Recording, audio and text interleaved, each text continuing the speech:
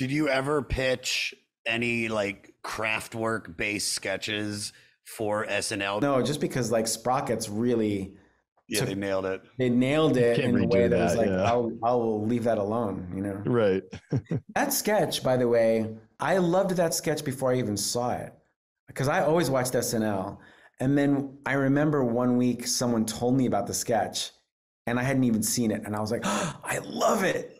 And they didn't even mention Kraftwerk. They're like, it's this German guy and they're all dancing and stuff. And I was like, whatever this is, I love this sketch. And of course, then when I saw it, I loved it.